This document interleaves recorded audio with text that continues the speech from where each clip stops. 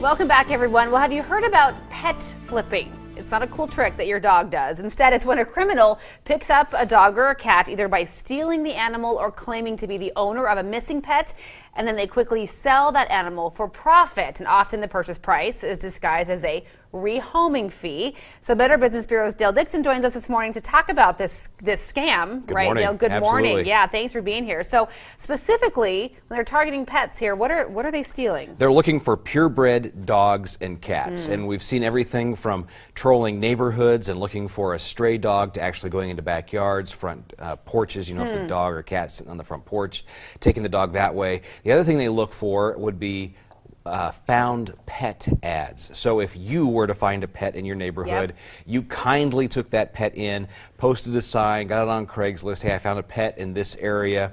If it's yours, let me know. Uh, and they'll the pet nappers who are flipping the pets will Okay. respond to those ads saying, "Hey, that's my pet." Which is and this is really tragic especially for animal lovers and thinking of people coming in your backyard to take your animal it's it's really too bad there's a lot of opportunity unfortunately aren't there Absolutely, yeah. Especially when you think about the whole idea of responding to a, fe- a found pet ad. Yes. So we're encouraging folks on this front to be really careful. If you are the one that found the pet and you're trying to do the nice thing by reconnecting that pet with its rightful Mm-hmm. owner, uh, if somebody calls you and says, "Oh, that's my pet," well, can I see a picture of you and the pet Sure. together? Can you do you have some kind of a proof of proof that this pet really belongs to you?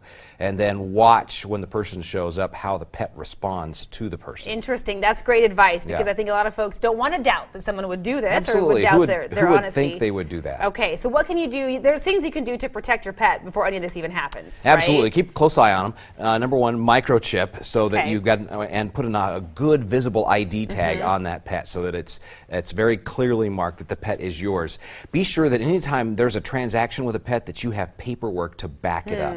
Really important Hmm. Okay. there. And then get that official bill of sale, so that you have proof as being the owner, and you know who you bought the pet from, and everything else along the way. Okay, because I can imagine once if, if an owner, an old owner, new owner discover that they both had this animal, things can get a little tricky. I imagine once the middleman is gone, right? It would. It would get very tricky. That's why you want this good paper Yes. trail Okay. to back you up. All right, great information, something I hadn't thought about before. So BBB.org, I'm sure, has more on this Yes. if people need it. All right. Absolutely. Thank Thanks so you. much, Dale. Thanks for being here this morning.